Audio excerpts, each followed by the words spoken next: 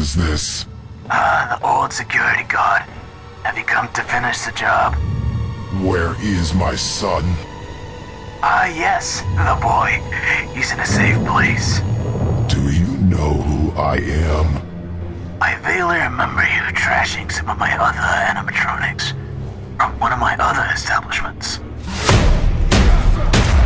Then you only know a fraction of what I am capable of. My boy go, and I will not pursue you. But if you don't, I will look for you. I will hunt you down. And I will kill you. And any animatronic that stands in my way.